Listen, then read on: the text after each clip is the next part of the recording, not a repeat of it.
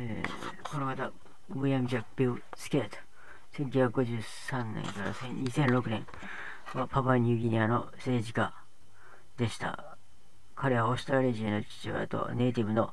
PNG の母親の息子でした。彼の経歴は混乱し、しばしば挫折を招きましたが、首相、国家議員、総督代理など、自国で最高の役職についていました。この方は地味な存在だが、おそらく自然的に政治に介入して、ある程度、あおそらくスキャンダルもほぼなく、まともに政治人生を全うした方であろうと思われる。千野さんなら天正天正の星を述べ、三名学的には悪くない星が多く、赤門星もあおそらく中心的な役割を持ち、短いながら師匠になった方である。赤門星が2つあるということですね。4年作界は、大まかに見て外国の要素が少ないともあると見えないこともない。政治文書が多いのは彼の生還生還政治期であり、彼の役職を全うできたと言っても良いと思われる。この方は南半球生まれだが、南半球でもこの戦術、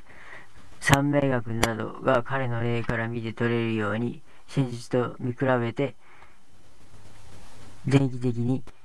彼の人生と並行してある程度理由のつけられる文章が書ける書けるのである。短命なのは環境の要素が大きいと思われるが、2004年から空母政治人生はかなりきつかったと思われる。つまりわからないが、おそらく数年前から健康に害が来ていたと見られる。来ていたと思われる。これはまだ研究中だが、時系、死後、看護が回ってきており、つまり簡単に見てみると、ない方がおそらく良いと見られる。もちろん空母が良くない意味を持つのは、これらの戦術の一つの要素であると読み取れる。2006年は6回も回ってきている。おそらくこのような場合の対策は空母と同じように注意する注意することであろうと思われる。詳しくは、穂崎さんのあらゆる言葉本に表されている。おそらく世界的に有名でないので、情報も少ないが、政治人生の前少しながら何をしていたのか、なぜ政治の世界に入り込んだのか、興味深いところである。外次元の計算法は単純極まりないが、今のところ一度計算できるサイトはないように思われる。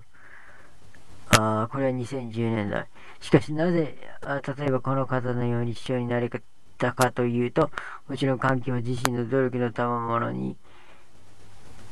は違いないはずだが、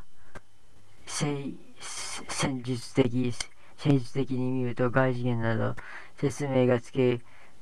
つける、つけれる場合もあると思われる。えー、この方の内次元はなし、外次元が2つ。あ大空母は約16年。